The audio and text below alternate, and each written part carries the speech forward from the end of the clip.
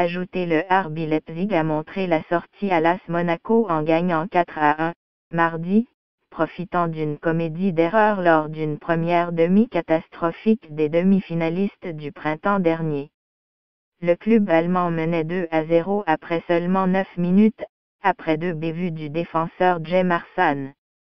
Le Brésilien a battu son propre gardien avec un but contre son camp, puis a mis la table pour le deuxième but de Leipzig avec une mauvaise remise que Kevin Campbell a interceptée, avant de rejoindre Timo Werner, qui a fait mouche. Le capitaine de l'AS Monaco Radamel Falcao a ensuite concédé un penalty que Werner a converti à la 31e minute. Falcao s'est racheté en touchant la cible à la 43e minute. Cependant, Nebi Keta a porté un dur coup aux locaux en marquant à la 45e minute. L'AS Monaco n'était que l'ombre du club qui avait éliminé Manchester City et le Borussia Dortmund lors de son parcours jusque dans le carré des AH la saison dernière. Le RB Leipzig s'est contenté de fermer le jeu en deuxième demi contre une formation monégasque jouant sans ambition. L'élimination de l'AS Monaco signifie que le RB Leipzig et le FC Porto lutteront pour la dernière place disponible dans le groupe G. Les deux équipes ont 7 points chacune. Le Besiktas JK, qui a fait match nul 1 à 1 avec le FC Porto, mardi, est déjà assuré d'une place dans la phase éliminatoire. Dans le groupe F, un but de Raheem Sterling a permis à Manchester City d'éraquer une victoire de 1 à 0 au Feyenoord Rotterdam et de s'assurer du premier rang dans son groupe. En vertu de la victoire de 3 à 0 du SSC Naples contre le Shakhtar Donetsk, Manchester City a confirmé sa place dans les huitièmes de finale avant son dernier match de groupe.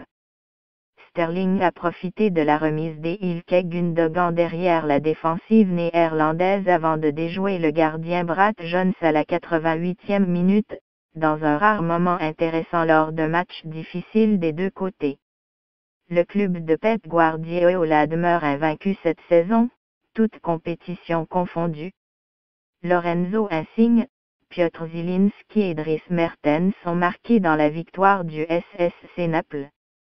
Dans le groupe H, Tottenham est venu de l'arrière pour battre le BV 09 Borussia Dortmund 2 à 1 et s'assurer d'une place parmi les 16 équipes en phase éliminatoire. Harry Kane et son Ungman ont répliqué au but de Pierre-Emerick Aubameyang pour Dortmund. Tottenham sortira vainqueur de son groupe, devant le Real Madrid, même si les champions en titre ont défait LAPOEL Nicosie 6 à 0 grâce notamment à des doublés de Karim Benzema et Cristiano Ronaldo. Le Real a tout de même confirmé sa place dans la phase éliminatoire. Dans le groupe E, le FK Spartak Moscou s'est contenté d'un verdict nul de 1 à 1 contre le NK Maribor, gaspillant une occasion de mettre de la pression sur Liverpool et le Séville FC. Les champions russes ont mis le club slovène sous pression, mais ont dû attendre la 82e minute avant de s'inscrire au pointage, gracieuseté de Zeluis. Cependant, le NK Maribor a répliqué pendant les arrêts de jeu, quand Jasma Mezanovic a profité d'un ballon perdu après un centre de Marcos Tavares pour créer l'égalité.